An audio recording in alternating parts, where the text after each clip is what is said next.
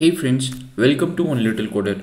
Today we are going to learn how to do DOM manipulation, document manipulation using PyScript. If you're from the JavaScript world, you know that this is something that you would be doing all the time. But if you're new in the web development world, I would like to tell you how you can do DOM manipulation using PyScript. Before even going to that, what is DOM manipulation? DOM, let's say document is an object in your HTML code. So like for example, there is a text area here. So you're writing something here and now you have to manipulate this object. First, sometimes you have to read it. Sometimes what, what reading is called as access. Sometimes you want to manipulate this, which means you want to clear this or you want to change something else. So for example, let's say this is an area you have got and if you do something you want to clear this and let's say there is an area here where if you do something you want to display something. So this is a text area where after you type something click a button clear this and then this is another place where if you click a button display something. So this is this is your typical DOM manipulation. To teach you with an example I've created a simple string counter. So whatever string you type here it's going to say maybe you know what nothing.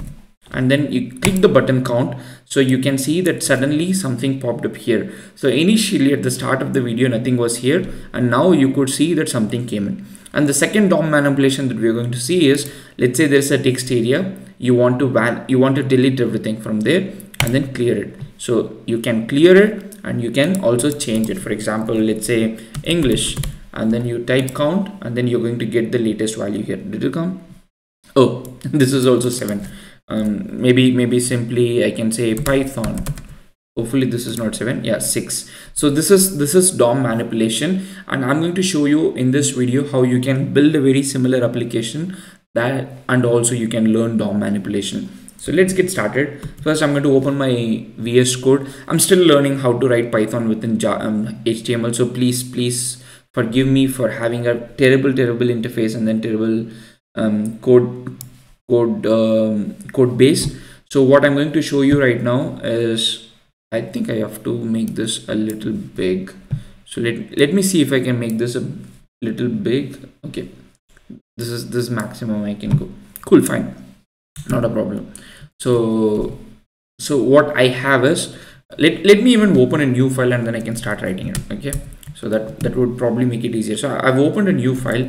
I'm going to save it index.html okay index uh, maybe main.html right? And after that i'm going to add simple html uh, code. So first i need open close html tag. Then i need body. Then i need head. And inside head i'm going to paste the script. So i'm going to paste three codes inside head one is for the css you saw the button colors. Uh, we are going to get the button colors from the css second is pyscript css and third third is pyscript javascript uh, js so we have got one css for the button colors.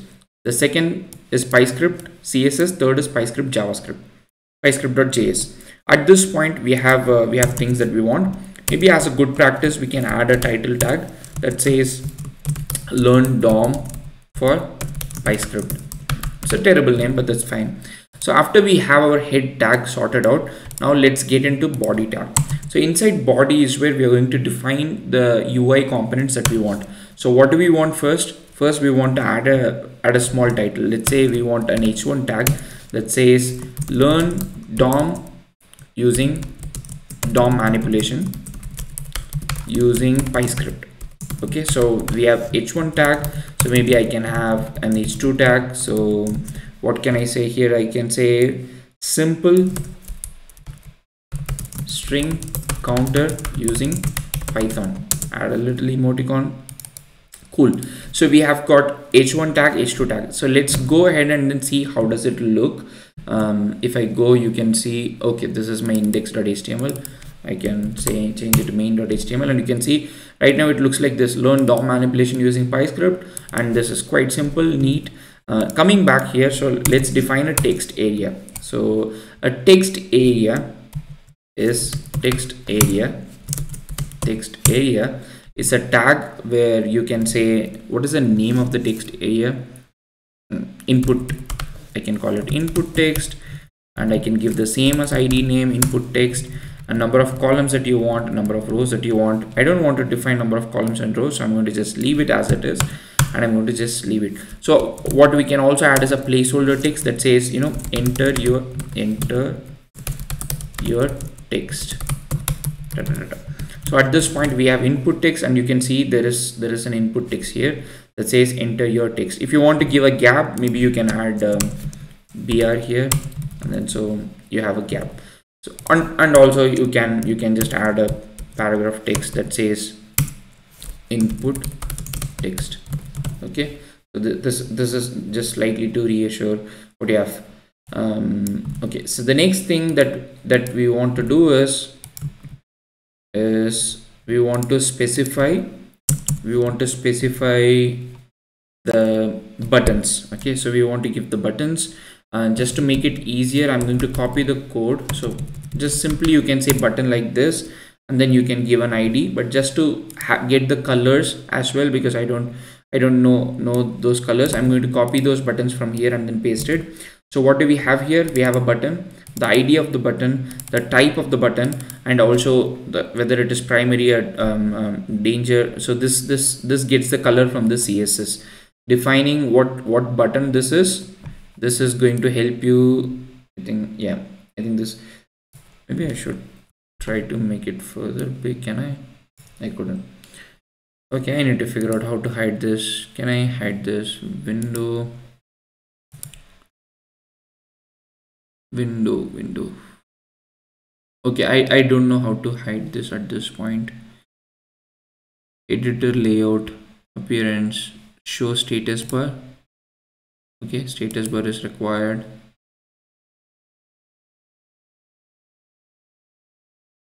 Zen mode maybe zen mode. Okay this this looks much better right? This looks much better. Um okay i i hit zen mode maybe. For, for, for now let's stick to this. I'm sorry i wasted your time. So at this point we have uh, we have one text and two buttons. Let me save it go back and then see. I've got two buttons. I'm going to again add uh, add the br tag just to make sure that you know this comes in the next line. So you have uh, the text you have input you have uh, two buttons. Okay so right now maybe i have to move the screen a little bit that's fine. Uh, the next thing is you can see that at this point we have defined our UI the final thing that we want to do is we want to give a place for output so I'm going to call it output uh, from Python. And then I'm going to say a, a, a tag with an ID that would say it is output. So at this point we have clearly defined our UI so we have uh, input text that goes here. We have two buttons which we are going to use to do some action and then we have output. So one thing that you might notice is that these two buttons have got on click attribute PyS PyScript on click attribute so which means these two buttons are going to trigger this python function once you click it. So when you click this count it's going to look for a python function count and then it's going to invoke that function run the function call the function. The second is when you click this button it's going to look for a python function clear and then it's going to call the function. At this point our ui is done. So let's get out of body and then let's open PyScript and then close it and then we have PyScript. And with PyScript I have to first first thing is access the DOM. So access the document element. In the JavaScript world you would have some done something like this. Document dot element by ID something something. This is what you would do in the JavaScript world. But being Python being Pythonic so there is an elegant elegant way for you to do this. What is the elegant way for you to do this have to say input text I can call it input text equals I can say element of see this is also subject to change. This is this entire PyScript is an alpha stage and this might change but for now the ID of the element that you want to access and then you assign it to a Python object. So at this point element of input element and the, in, the input text in this case because that is our ID and then you add it to input text. So two changes we want to make. One we want to sometimes clear the input text. Second we want to change the output as well. So i'm going to say output equals or you can give any name okay? I can give op as well. Op equals element of output. So at this point we have managed to access to and you wouldn't see anything. Right now nothing happens here okay? Uh, so at this point we have managed to give to. So even i can type the text here nothing would happen. Nothing would happen because purely because we have not defined the function. Now we are going to define the python function that says def clear and uh, argument. We have to get the argument. So to make it simple i'm going to get the arguments here. Okay. So args kwargs. So we have got args and kwargs and then we're going to say indentation matters a lot. So def clear. What do you want to do inside this? I want to say input text dot clear. That's it. Okay? So let's go back here and then write a you know i love this channel. Or i can say subscribe to one little coder okay? And then i can click clear. Did it work? Doesn't seem to be working and let's explore why it is not working. Did it work? Let me refresh this. I can say sub to one little coder and i can say clear. It still did not work. Let's go back to our previous code and then see why it didn't work. The reason it did not work is primarily because I want to just explore. Just give me a minute so I have my ID here right? So the text is being captured. And it's being captured using input element input text. That's good. And then I have the function that's called clear. And inside that I have input text dot clear.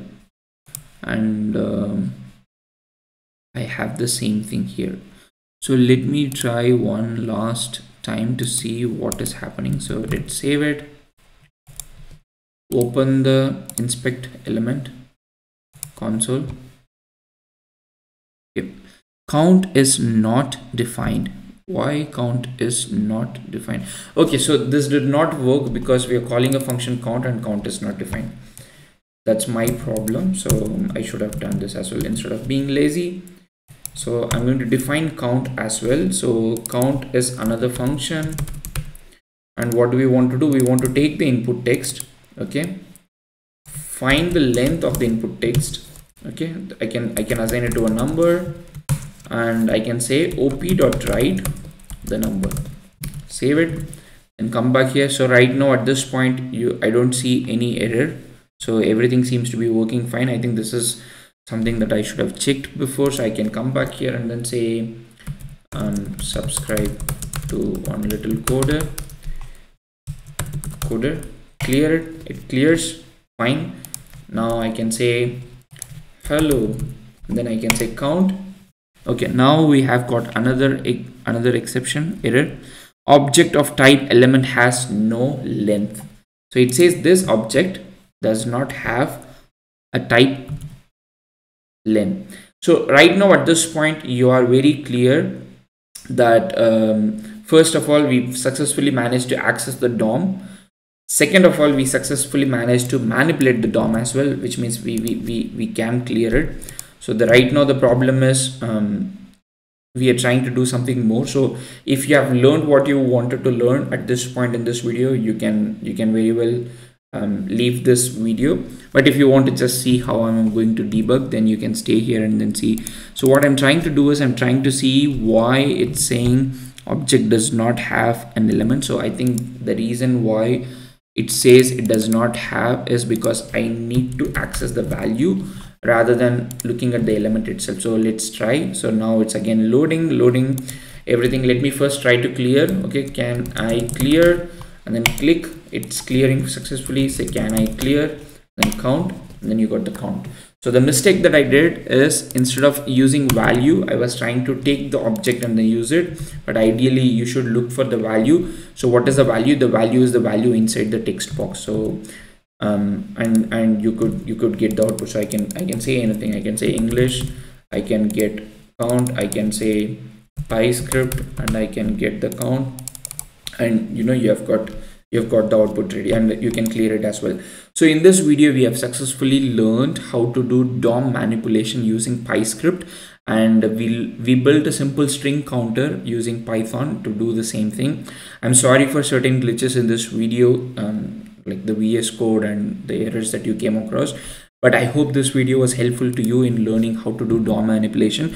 To quickly summarize the dom manipulation part is primarily this you identify the id of the document element the dom and then you try to access it first and then you try to manipulate it. You try to manipulate it and the way you manipulate is using this and then you way the way you trigger is by using this where you give this action the the on like on click or any any other event and you trigger the python function and then the function is being called I'll link this video, sorry, link this code. Um, I would add this code in my GitHub and then link it in the YouTube description. But otherwise, I, I hope you should be able to create this code by yourself by watching this video.